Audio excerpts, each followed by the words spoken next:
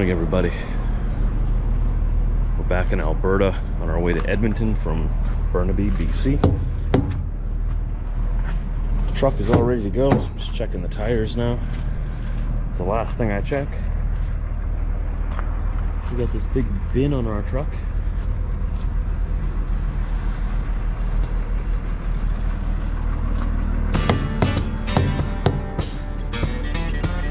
Three hours away, oh, two and a half hours away from where we're gonna drop this off in northwest Edmonton. Looks like we'll be ready to go. Two more. Ready to go.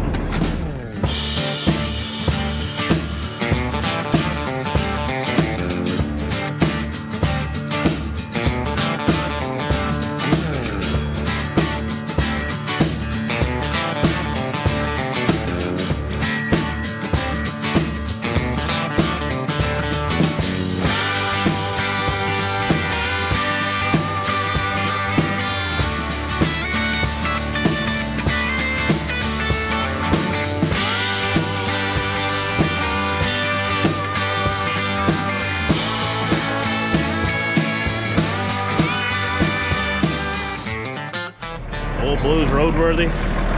Safe to operate on the highway gets my stamp of approval.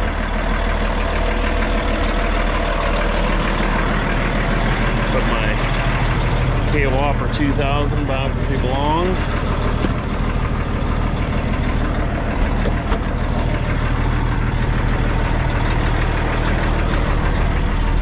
Thanks for clicking the video. Don't forget to subscribe, everybody. We make new videos every day. Uh, this trip I've been, I went from Winnipeg out to Vancouver Island and we got stuck in the lower mainland of BC over the weekend. And now we're back up here delivering in Edmonton. And from here I'm hoping to get back towards home in Winnipeg. Around Winnipeg. I don't live in Winnipeg. Let's clarify that. No more mountains. We got a little bit of the rolling hills here left, but the Rockies are behind us. Back on the prairies feels good to be back on the prairies.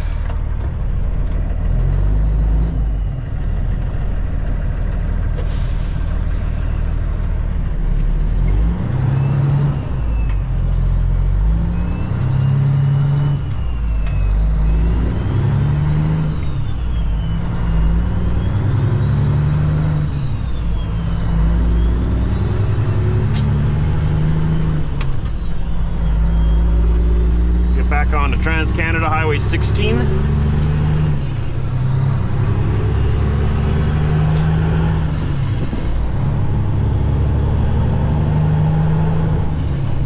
Well, do we got DOT sitting right over here? Is that police? Right in the median? Or is that construction vehicles?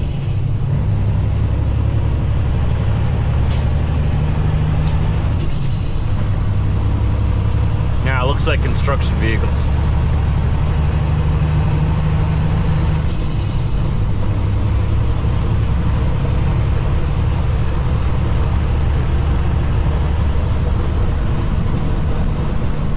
Yeah. No DOT.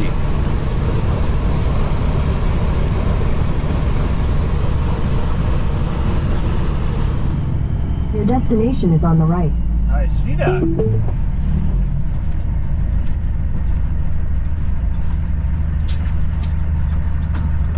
At the Petro Pass in Edson, Alberta. Time to fuel ourselves up with some Alberta juice. It's cheaper at Petro Pass than at Flying J by five cents per liter. Uh-oh. This tank? Yeah. No, this thing works. Okay. Yeah, there's one pump covered up here, but that's not the one I'm going to use. Or is it? Oh, no it's not. Okay. Should be good. Right a little further. There we go. Okay, so we're fueled up. We got 570 liters or 150 US gallons and uh, we paid $1.41 a liter with the discounts. In BC, the price was $1.61 a liter. Uh, this fuel should last me down to Manitoba, where I'll have to fuel again, and that'll be cheaper there again. Unless if they put the tax back on the fuel by the time I get there. I guess we'll see.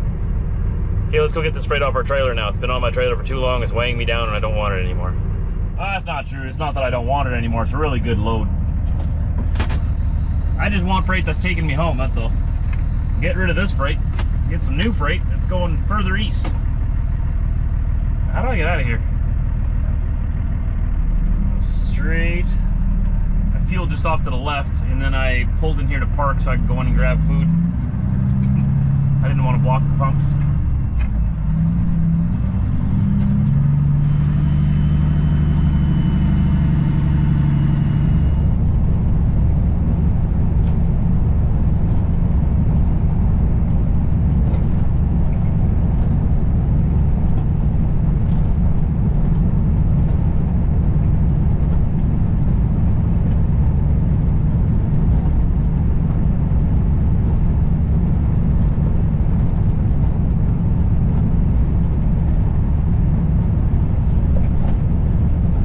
Don't do it, not yet. Oh, come on, man.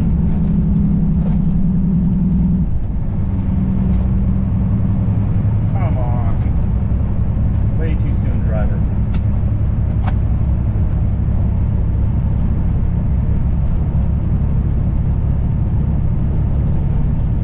So often when you see those guys who just creep past you, They get so impatient. They want to get back in the right lane so bad that they'll just cut you off. Just arrived to Northwest Edmonton.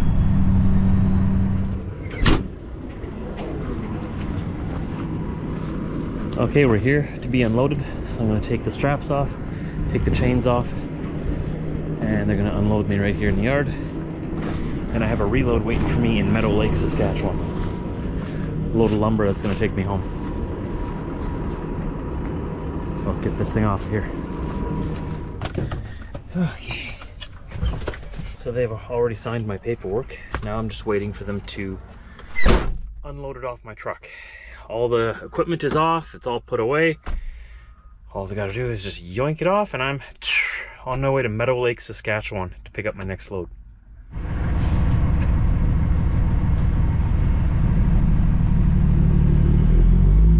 I got my three mile walk in. Well, it's actually two and three quarter mile walk.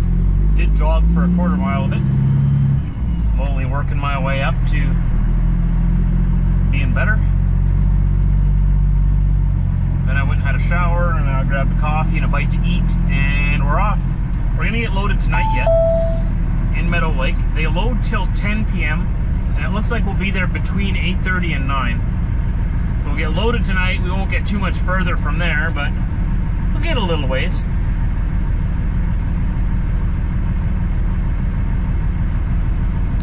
And I should be home tomorrow evening.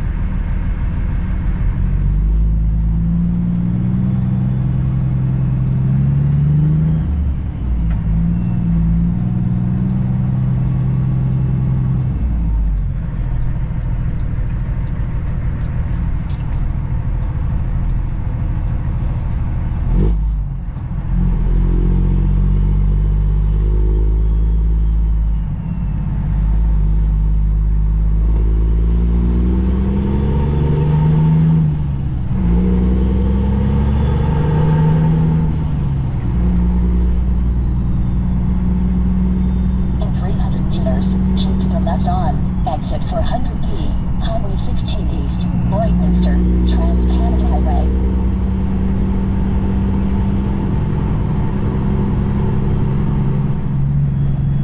We're on the Alberta side of Lloydminster, right up on the border of Saskatchewan. Gotta head north from here and sort of snake our way towards Meadow Lake through the backcountry. 100 meters, turn left on, Highway 17. I thought this was the border with Saskatchewan here at this road. Maybe I'm wrong. 'Cause I thought this road ran right along the border, but on the Saskatchewan side. Yeah, I'm pretty sure.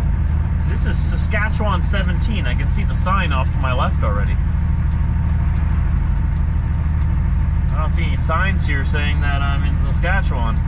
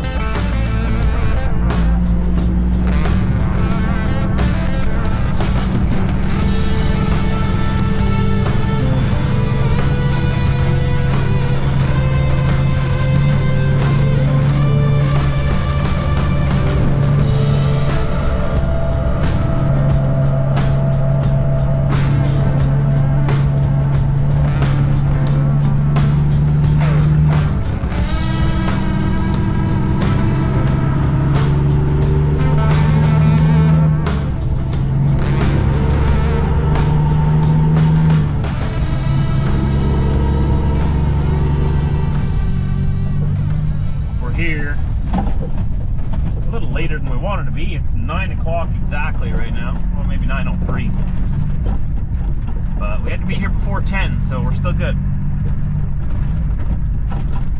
Just gotta go around back here, get into position. The guys here load me up so fast. We'll probably be out of here in like half an hour. Tied down, buttoned down, ready to go. So that sign there says loading zone, no foot traffic while loading. So while he's loading me up, I have to stay in my truck, which is fine. I'm actually timing him. we'll see. We'll see. I think he's looking for the freight right now. But usually once he gets going, it's like bam, bam, bam. He's got everything loaded on the truck in like five minutes. Might take a little longer this time. Oh no, here he comes with his first lifts already. We'll see how long it takes. This is the fastest place to get loaded every time. All right, so today wasn't the best time to time them. Uh, it took 25 minutes to load, which is still pretty good. But he's done it in under 10 minutes before. But it, he had to go find them, he had to dig them out, and it, that's okay. I'm not in that big of a rush. I just thought it'd be kind of cool to time him, see if he could beat his own record. But ah, maybe next time. So 25 minutes to put this on here. I've just got to throw some straps over them. Two, four, six, eight. And then we'll be on our way. I'll be back at our yard in Manitoba. Uh, this load's going down to West Des Moines, Iowa, but I'm just going to our yard and another driver's gonna hook onto it from there because Old Blue needs to go in for its annual safety. So I'm gonna have it at the shop by Friday. Uh, that won't be a problem because I'll have this in the yard tomorrow and tomorrow is Wednesday, so I'll be there Wednesday night.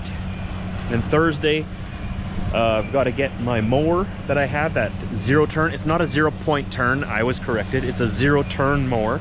Got to get that all cleaned up and ready. I'm going to change the blades, maybe change the battery as well. I sold it. So hopefully we'll be able to meet with uh, the buyer on uh, Friday, I guess. So Thursday I'll fix it up. Maybe even Thursday evening I'll meet with him. He's a friend of mine. I used to work with him back in the day. Really great guy. It's gonna be good to see him again. I haven't seen him in, oh, how long's it been, man? It's been a long time. Since before I started doing this, so more than 13 years. We follow each other on social media, and that's how we found out about that the mower was for sale. But uh, it's crazy how, you know, people you work with and, you know, your friends, life goes in different directions and suddenly you don't see each other for a long time. And great guy though, so I'm looking forward to meeting up with him again. He wants to buy our mower, so hopefully it goes through and hopefully it works out. Sounds like it's a done deal, but you know, nothing's done until the exchange is made, so as of right now it's sold, but uh, we'll see. Maybe something happens. Maybe something happens in his life that uh, suddenly just doesn't work out. That's okay too, but that's the plan. So we're gonna get this home tomorrow, Thursday. The next day we're gonna get that mower ready for my friend, and then uh, next week Monday, Old Blue goes in for the safety. Uh, it's gonna get more than that done. It's getting its annual safety done. It's getting a full service, oil change, grease, filters changed, everything, a whole once over. Uh, and also, uh, we're getting it polished. Wheels, tanks, uh, wheels and tanks.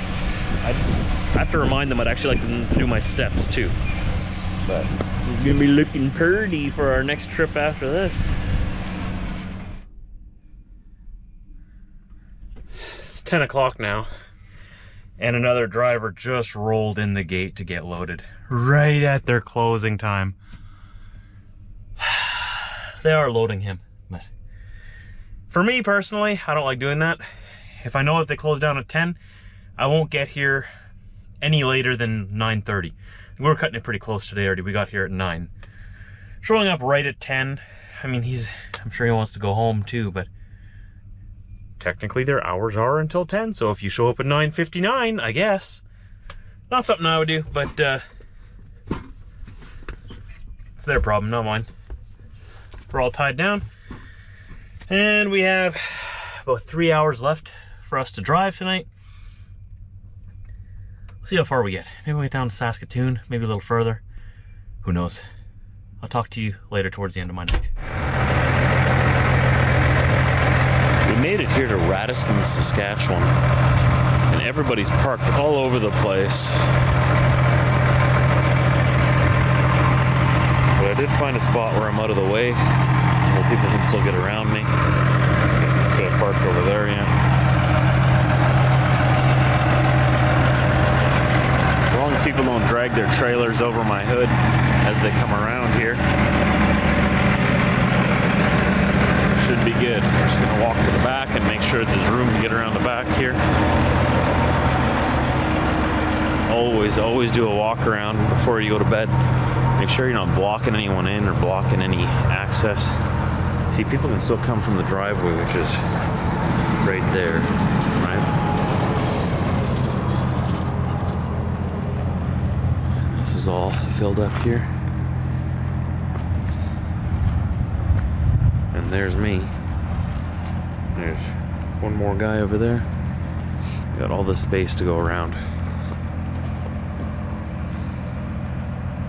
I know it's kind of dark, can't really see nothing, but I think I'll be okay here. There's a little bit of a soft spot here, though. Well, it's too dark for you to see. But, uh, yeah. People will be just fine. No, it's not too soft. They'll manage. All right, let's go to bed. Tomorrow we go home. at least I'm hoping we're gonna get home tomorrow. It's gonna be pretty late. I won't be able to get moving. It's 1 a.m. here right now, so that means it's 2 a.m. back home in Central Time. I'm still in Mountain Time here. So, uh, guess I'll get up as soon as I can in the morning and rush back home. I'll probably get home after our son goes to bed already. Probably miss that. But uh, I'll have to talk with the wife and see what time it ends up being. Because I got to bring this trailer to our yard. Got to get my straps off of it, put them away in my truck, run over to my shop, put old blue away, get all my stuff out of it. Got to take everything home to wash and clean. I've been gone for a while again. And then when I get home, the dogs get very excited. So we can do it in a way that it doesn't wake up Theo. But uh, gotta be very sneaky and careful about it then. And I can surprise him first thing in the morning when he gets up. I always love doing that. So we'll figure it out tomorrow. Right now, I'm going back there. I'm just gonna get all these files onto the computer. Uh, and I'll edit this up once I get home at some point, probably during his nap or something on the weekend. If you want early access to all my videos, though, they're usually up between like two to six days early on the internet, uh, but I only release one per day. So if you want early access, you can always become a member by clicking join now below every one of my videos. You can read more about it there. You can become a premium member to get uh, uh, early access. It's like for the price of a Starbucks coffee every month. Just, just if you want to. You're not interested in that, the best way to support my channel, which doesn't cost anybody any money, is by hitting that thumbs up and leaving a comment down below. I'd love to hear from you. That helps it a lot too. And uh, you know, the best thing actually is by hitting that share button and sharing my videos to your Facebook, to your X page, to your uh, uh, what other pages are there now? There's so many of them. Uh, there's what's that other one? Threads, Telegram. Uh, I don't have a Threads or a Telegram, but I do have an X account. You can find all my social media down below every video in the description there. But feel free to share the link to this video anywhere you want to, as long as you're directing them back here to my channel. Uh, that always helps me out a lot. Good night, everybody. Pay attention when you're out there on the roads. Take your time, leave a little bit earlier. Uh, don't rush, don't tailgate. Use your turn signals. Be safe. We all just want to get home to our families.